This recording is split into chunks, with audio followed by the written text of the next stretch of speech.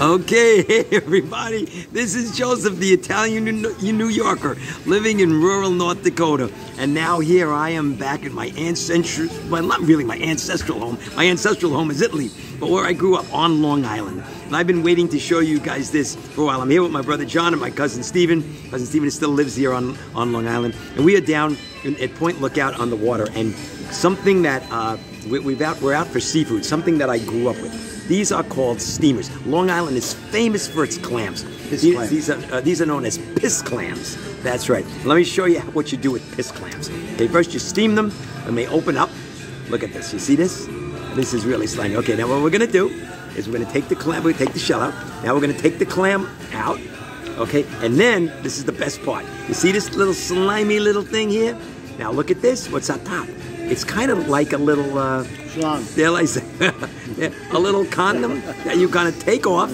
Okay, there we go. We're gonna take it off. Okay, then we're gonna dip dip the clam, and this Yeah, is this this is the that's wet. This is the uh, uh, it's, a, it's it's it's hot broth. It's a hot broth.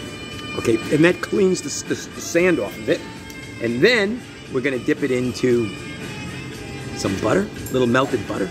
Okay, and then watch this. We're gonna slime it down. Oh. Mmm, that is so good.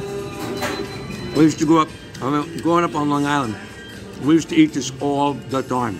And this is something you definitely cannot get in North Dakota, in North Dakota, in the Midwest. You got to get this from the fresh from the sea. And the other thing I have here, one of my favorites, this is Manhattan cl- clam chowder. Manhattan clam chowder is a tomato-based clam chowder. It's not New England. New England's got the cream, the the the, uh, the uh, cream, the cream. Everybody uses the cream, but uh, in Manhattan style is with the tomato base. Well, and I just love the tomato base. Mm. Mm. That's so good. Let me show you one more time.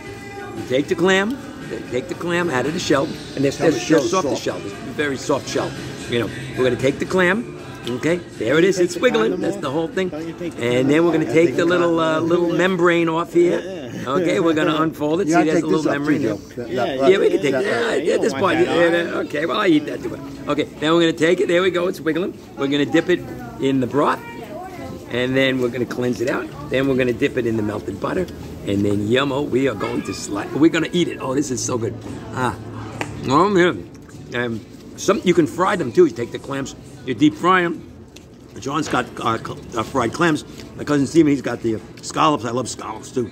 You know, this is so good. So anyway, guys, I've been waiting to do a video with this. I had to be on Long Island to do this because this is the only place where you can get them on Long Island. This is a real Long Island thing. Where we grew up, like I said, I grew up on Long Island.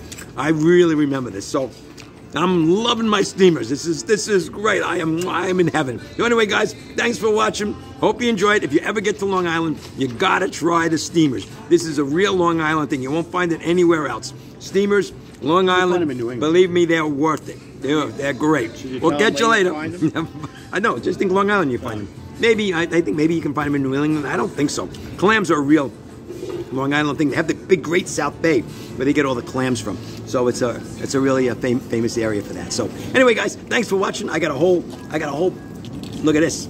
I got a whole pot, a pot of clams to go for to eat. So we'll catch you later. Enjoy. Bye.